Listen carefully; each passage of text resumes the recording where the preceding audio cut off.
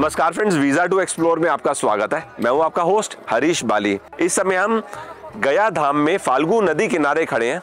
आज सुबह हम साढ़े छः बजे यहाँ पर आ गए थे। अ, सबसे पहले हम यहाँ पर आकर विष्णुपद मंदिर गए।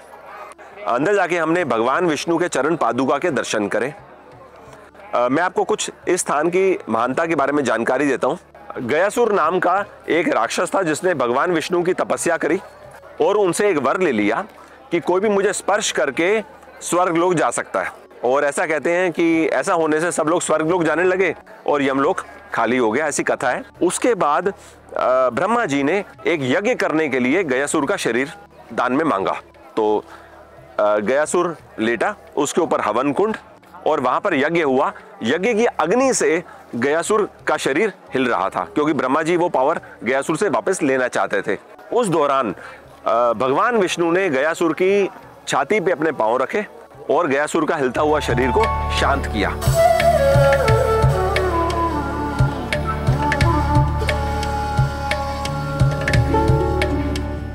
आमतौर पे यात्री गया धाम पिंड दान के लिए आते हैं और ये पिंड दान फाल्गु नदी किनारे ही किया जाता है, जैसे अभी आप सामने देख रहे हैं ये सब यात्री यहाँ बैठे हुए हैं और पिंड दान करवा रहे हैं। इस स्थान से जुड़ी हुई एक कथा और भी है। ऐसा कहते हैं, भगवान राम, सीता माता और लक्ष्मण इस स्थान पे महाराज दशरथ का पिंड दान करने के लिए आए थे। भगवान राम और लक्ष्मण जब तक लकड़ी इकट्ठा करने के लिए जंगल की ओर गए, उस समय सीता माता यहाँ पर थी। उनको आकाशवाणी महाराज दशरथ की हुई कि मेरा पिंडदान करो। तो उन्होंने पिंडदान बिना भगवान राम के यहाँ पर संपन्न कर दिया। जब भगवान राम लक्ष्मण यहाँ पर लौटे तो उन्होंने एक तरह से प्रमाण मांगा। तो सीता माता ने प्रमाण के लिए नदी से पूछा पिंडदान के बारे में। भैया आप यहीं से? ठीक है। तो जैसे फाल्गु नदी के बारे में हमने सुना कि फाल्गु नदी ने मना कर दिया कि पिंडदान नहीं हुआ। थोड़ा बताएँगे क्या हुआ था? बता देंगे। सीधा माँ ने यहाँ पिंडदान करने के लिए आए थे तो यहाँ ने कुछ नहीं था यहाँ रहता था। यहाँ गंगा ये फाल्गु नदी जो है सूखा पड़ा रहती। समझे? इसमें दूध घी मध की धार चलती थी पहले।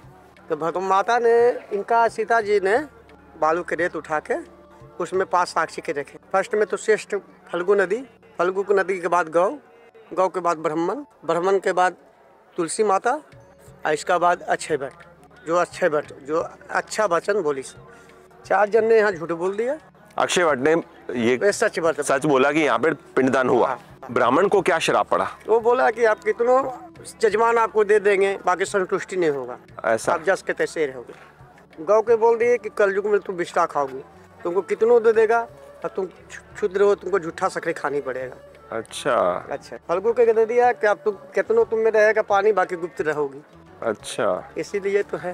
हाँ, तो भी यात्री तो यहाँ पर दूर दूर से आते हैं बिकॉज़ क्योंकि यहाँ पर मेन जो पिंड दान है ना उसकी मानता है और श्राद्ध के समय बहुत भीड़ होती है सुना?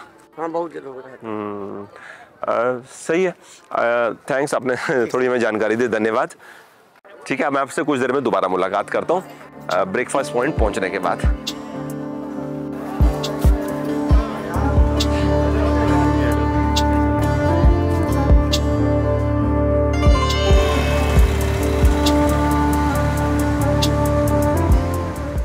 नाश्ता करने के लिए हम लोग गांधी मैदान में प्रभु जी रेस्टोरेंट तो यहाँ पर मैंने अपने लिए ना उत्तपम लिया। ओवरऑल गया एक्सपीरियंस हमारा उतना ज़्यादा इलेबोरेट नहीं हो सका जितना हम किसी और जगह जाते हैं तो करते हैं, क्योंकि टाइम हमारे पास वाकई में आज बहुत कम है। अब हम नाश्ता फिनिश करके यहाँ से पटना की ओर जा रहे हैं। रास्ते में जो इंटरेस्टिंग जगह हमें दिखाई देगी, वहाँ गाड़ी रोकेंगे और फिर अपन पटना पहुँच के आपको ज्वाइनिंग दोबारा करेंगे।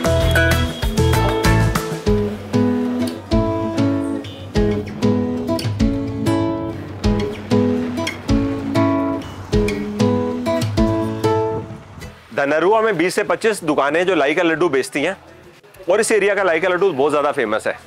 सामने देखिए लाई के लड्डू ट्रेस पे पड़े हुए हैं। मैं एक काम करता हूँ खाने से पहले ना यहाँ पर देख लेता हूँ ये लोग तैयार कैसे कर रहे हैं उससे अपने को आइडिया भी लग जाएगा। तो आप ये बेसिकली जो मावा है इसको चाशनी बोल रहे हो? और इसमें लाई को मिला लिया। लावा मिला लावा? लावा क्या हुआ? हाँ वही चीज़। लाई जो आप अच्छा। लाई बोल रहे हैं हम लावा इसको बोल रहे अच्छा लाई लावा। अच्छा। देखिए मिक्स कर रहे हैं ना? हम्म हम्म। तो मिक्स करने के बाद छोटा छोटा लोहिया साइज़ का। अच्छा। तो लाई का लड्डू तैयार। लाई का। एक किलो दूध का तो 200 ग्राम मावा तैयार करने में ज़्यादा समय नहीं लगता है। शुरू से करते हो दूध को? उसे करते हैं तो आधा घंटा लगता है उसको सुखाने में और डेढ़ दो घंटा लगता है उसको तो मोटा मोटा समझेंगे तो लाई का लड्डू तैयार होने में हाँ। ढाई से तीन घंटे का समय लगता है हाँ। जिसमें दूध का उबालना भी हो जाता है और इस तरह का मिक्सिंग भी आ जाता है। इसकी लाइफ कितनी होती है? अगर हम अपने साथ लेके जाएँगे कितने दिन चलेगा? एक सप्ताह। चलो हम वहाँ शॉप से लेके इसको खा के टेस्ट करते हैं।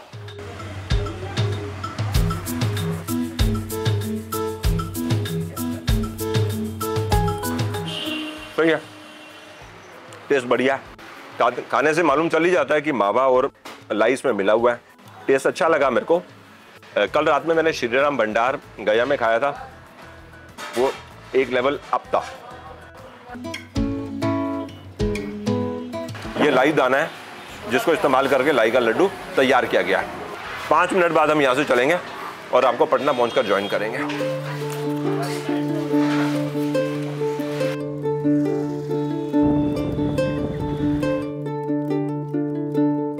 बस हमारे मन में एक्चुअली था कि एक बार जाने से पहले आपसे दोबारा मुलाकात कर लें। बिल्कुल बिल्कुल बिल्कुल। मैं खुद चाह रहा था। अ, तो जैसे कुछ तो चीज़ें हैं कि आपने देखा होगा। तो एक बार बताइए आप कहाँ कहाँ पे विज़िट कर पाए? जब हम यहाँ पटना से चले ना तो हम डायरेक्टली राजगीर जा रहे थे। तो राजगीर जाने से पहले हम लोग नालंदा गए। नालंदा रुइंस देखने के लिए। हाँ ठीक है। तो नालंदा रुइंस में हमने अच्छा क्वालिटी समय बिताया। ऑलमोस्ट हमें एक घंटे से ऊपर का समय मिला। तो रुइंस हमने गाइडेड टूर करके अच्छे से देख लिया और काफ़ी कुछ समझ भी लिया। तो मेरे ये पूरे टूर में जैसे हम राजगीर गए राजगीर में हमने एक पूरा दिन बिताया। उसके बाद हम लोग वहाँ से गया चले गए। पहले बोध गया गए। बोध गया में भी ऑलमोस्ट हमने three fourth of a day से के करीब टाइम बिताया और गया में आज मॉर्निंग में हम थे। तो ये सारे टूर में ना जो top of the mind recalls है मेरे जो चीज़ एकदम से now think of this tour after today is the fourth day हमारी जर्नी का ना। राजगीर का जो सफारी है वो एकदम से माइंड में तुरंत सामने आता है। कि मुझे ऐसा लगा। क्वालिटी उसकी। हाँ। स्पेशली मैं बताता हूँ आपको एक दो चीज़ें। मैंने क्योंकि बहुत सारी सफारीज देखी हैं तो यहाँ पे जो अच्छा काम हुआ वो ये एक तो बसेस का जो एक तो एयर कंडीशन बसेस है प्रॉपर तो कोई साउंड साउंड नहीं है एक्सटर्नल कोई डस्ट नहीं है। और जो उसका शीशा है that is the best part मतलब आपको ऐसा लगेगा बिल्कुल आप एनिमल्स के साथ में यूजली क्या होता है वो छोटी सी खिड़की होती है उसकी। तो वो तो बहुत मेरे को अमेजिंग लगा। और glass bridge obviously goes without saying glass bridge जैसे हम एंड में पहुँच रहे थे ना उससे लगभग दो मीटर पहले सडनली ऐसा लगा कि वो एक अचानक एक फीलिंग आई कि ये कहाँ पर ऊपर आ गए। तो वो बड़ा डर भी लगता है। हाँ, थोड़ा डर भी लगा। है। तो वो एक्सपीरियंस बहुत अच्छा था। और राजगीर के टेम्परेचर और गया के टेम्परेचर में मुझे डिफरेंस महसूस हुआ। गया गर्म है। राजगीर सही है। और राजगीर में हम लोग विरायतन में रुके। वो हमारा बहुत अच्छा एक्सपीरियंस था शांत जगह और मतलब उसकी अपनी हिस्ट्री है विरायतन की। गया में जब बोध गया पहुँचे तो मैंने यूट्यूब पे पहले एक दो वीडियोस देखे थे बट नज़रों से जब मैंने बोध गया विज़िट करके देखा और वहाँ की मतलब बोधी ट्री विज़िट किया और बाकी ओवरऑल लोगों को भाव में देखा जब वो प्रेयर कर रहे हाँ, हैं तो feeling itself was meditation कर रहे हैं। That is a totally different feeling वो एकदम अलग लेवल पे आपको ले जाती है। फिर हम सुजाता मंदिर गए। सुजाता स्तूप बोलते हैं। हाँ। वो विज़िट किया। सुजाता टेंपल है वो भी विज़िट किया। तो मतलब एक दिन में जितना अच्छे से हम डे को मैक्सिमाइज कर सकते थे। और इसमें काफ़ी हद तक अपना मुकुंद भाई ने भी हेल्प कर दी in terms of seamless planning होती है ना। टूर कैसे एग्जीक्यूट हो। और फ़ूड फ्रंट में हम लोग ना शाम के समय चले गए थे वहाँ पर तिलकुट खाने के लिए। तो आज से पहले हम लोगों ने ना वो खाया था गजक खाई गजक खाई थी। तो I thought in my mind कि this is similar to gajak. लेकिन खाने से मालूम चला सिमिलर ठीक है दूर से सिमिलर है लेकिन taste is a lot different बहुत डिफरेंट है। और बनते हुए हमने तिलकुट देखा तो वो तो एक लाइव एक्सपीरियंस था कि हमारे सामने बन रहा है और वहीं पे हम खा रहे हैं। हैं। तो बड़ा अच्छा एक्सपीरियंस था। फिर उसी शॉप शॉप में हमने अनरसा खाया। मतलब विदाउट मिंसिंग वर्ड्स मेरे को ऐसा लग रहा है कि किसी ने आज से पहले अनरसा नहीं खाया और वो ये अनरसा गया में जाके खाए। तो उसके life time experience on the taste this was so tasty अभी भी लग रहा है कि तो मतलब आपको बहुत कम अच्छा से कम ये लगा ना कि फोर्थ फोर डे ट्रिप जो था वो वर्थ कमिंग हाँ वर्थ कमिंग लगा लेकिन एट द सेम टाइम मुझे लगा मेरे को एक दिन मिनिमम और चाहिए था। और चाहिए था हाँ। मतलब मुझे पहले प्लान करते समय ना सर्किट को और अच्छे से आप कर एटलीस्ट मेरे को फाइव डेज़ की विंडो तो मिनिमम लेके आनी चाहिए थी। फोर डेज़ टाइट हो गया मेरे लिए। अगली बार मैं थोड़ा ज़्यादा ज़्यादा समय लेकर आऊँगा टूर प्लान करने के लिए। बाकी सही है ओवरऑल एक्सपीरियंस काफ़ी अच्छा लगा तो इससे क्या हमारे जो चैनल के सब्सक्राइबर्स हैं जिनको बिहार के बारे में ज़्यादा नॉलेज नहीं है थोड़ा उन लोग को भी मालूम चलेगा कि टूर कैसे प्लान कर सकते हैं बिल्कुल बिल्कुल so nice to meet you again Same here, same here. My best wishes, and I hope that you come back Bihar very soon. तो बस अब अभी हमारा प्लान ये है कि हमने अभी तक लिट्टी चोखा नहीं खाया इस जर्नी में। बिकॉज़ आई थॉट कि जब हम वापस हाँ। हमारे माइंड में था जब वापस हम पटना लौट कर आएँगे ना तब खा लेंगे तो उसको ध्यान रखते हैं हम लोग फिर। सही टाइम आ गया आफ्टरनून में। बिल्कुल बिल्कुल। थैंक यू सो मच चलो डन जी थैंक्स इस समय हम बिहार म्यूज़ियम के बाहर खड़े हैं। मेरे साथ मुकुंद भाई हैं। बिहार टूरिज़्म से। तो इनसे बात हुई तो इन्होंने कहा मैं आपको लंच के लिए ज्वाइन कर लेता हूँ। तो अभी हम म्यूज़ियम के पास में ही पॉट बेली रेस्टोरेंट जा रहे हैं लंच करने। के अंदर ही। अच्छा अंदर ही है। ग्रेट इस समय तो टाइम कम है तो हम म्यूज़ियम विज़िट नहीं कर रहे हैं क्योंकि म्यूज़ियम विज़िट करने का मतलब है तीन घंटे का समय लगेगा। और आज मैं शाम को वापस जा रहा हूँ। अगली बार जब मैं पटना आऊँगा तो म्यूज़ियम विज़िट करूँगा। मुकुंद भाई मैंने सुना है कि एकदम सब कुछ ऐसा है कि देखकर world class type extremely rich culture of Bihar यहाँ पे दिखाया गया है दर्शाया गया है बहुत ही अच्छे तरीके से। लिट्टी चोखा भी आ गया। और साथ में आपका मटन चावल आ गया। इसमें क्या मटन है? अच्छा। ये मैथिली सब्ज़ी है, जो मैंने अलग से मंगवाई है अपने लिए।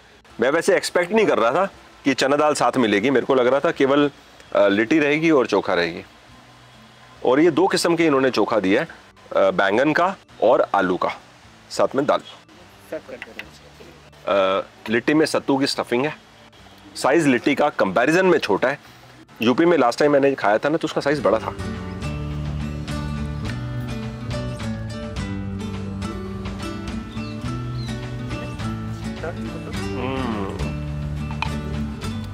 तो गुजर। अच्छा एक बात है। अ, स्वाद दोनों चीज़ का है।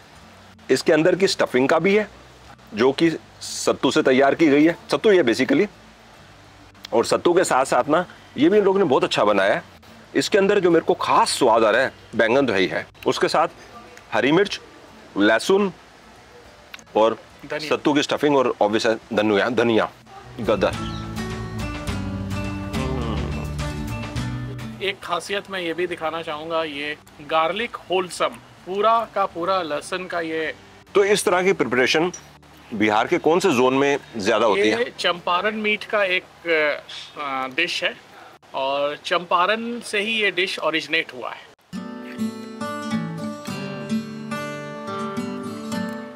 देखो, चना दाल अच्छी है। इसमें तो कोई शक नहीं। लेकिन जो मज़ा मेरे को ये बैंगन चोखे का आ रहा है ना, वो तो नेक्स्ट लेवल है। बहुत खूबसूरत। अच्छा बना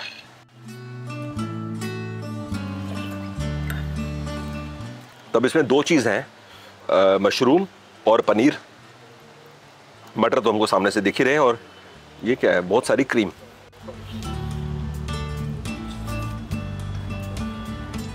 बहुत अच्छी प्रिपरेशन है। आज से पहले मैंने कभी भी कोई ऐसी डिश नहीं खाई जिसमें पनीर और मशरूम जॉइंट हो, और एक साथ हो, और ग्रेवी बहुत ज़्यादा थिक है। और क्रीम में पनीर और मशरूम को पकाया गया है। बहुत ज़्यादा क्रीमी है। मतलब अच्छा खासा क्रीम का लोडिंग है इसमें। गुड टेस्ट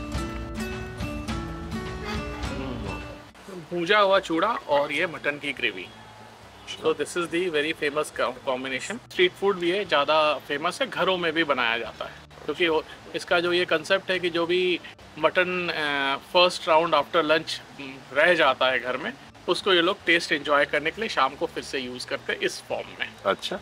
लंच फिनिश करने के बाद मैं पटना साहिब गुरुद्वारे जा रहा हूँ। यहाँ से कितना? 40-45 मिनट लगेंगे? पैंतालीस मिनट लगेगा। अच्छा। तो thanks for joining in thank you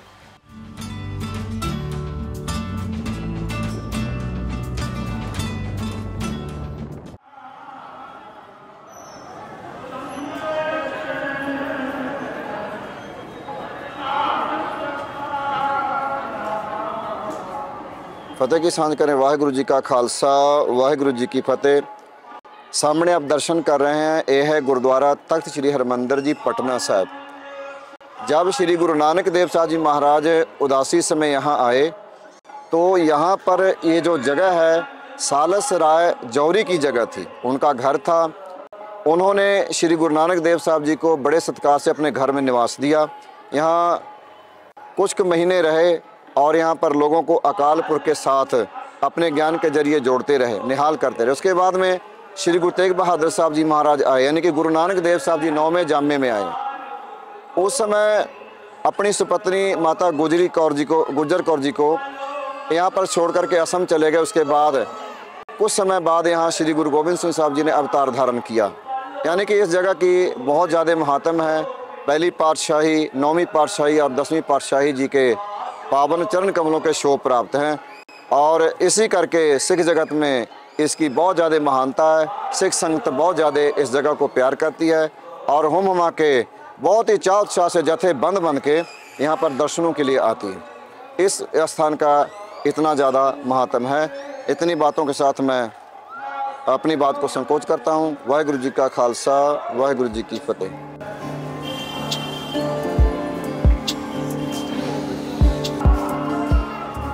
गुरु गोविंद सिंह जी के जन्म स्थान से 300 मीटर के डिस्टेंस पर गुरु गोविंद सिंह जी का बाल लीला का स्थान है। इस समय हम लोग ना काफ़ी ज़्यादा लेट हो चुके हैं क्योंकि हमारी दिल्ली की फ़्लाइट है। अगर मैं 15 मिनट या आधा घंटा पहले यहाँ पहुँच जाता तो मैं गुरुद्वारे के अंदर जाके दर्शन कर लेता। इसलिए मैंने बाहर से माथा टेक लिया है। तो अब मैं यहाँ से ना निकल रहा हूँ और हमारी ये बिहार की सीरीज़ भी यहीं पे एंड हो रही है। राइट अभी मैं आपको यहीं पे बाय बाय कर रहा हूँ। जल्दी आपसे दोबारा मुलाकात होगी। Thanks for your time